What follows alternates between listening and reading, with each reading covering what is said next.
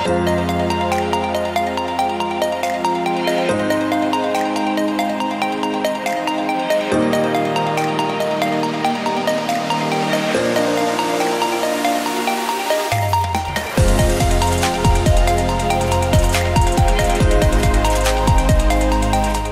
Day, organised by Assystem, is really an exchange of ideas and a conversation with our clients.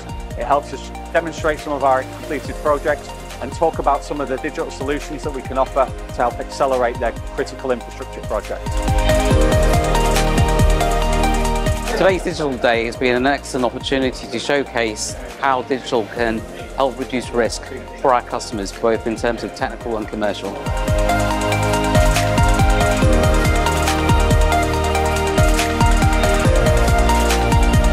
It gives me a wonderful opportunity to share experiences from others' activities in different sectors. Uh, we have a grand challenge, um, the Fusion, to realise a, a prototype power plant by 2040 and digital will make all the difference about achieving those timelines.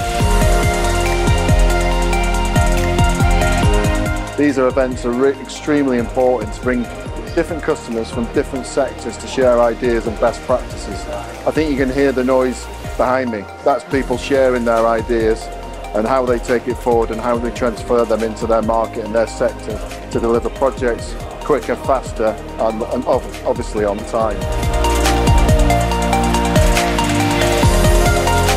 In the nuclear industry, uh, benchmarking is very important, sharing practice is very important.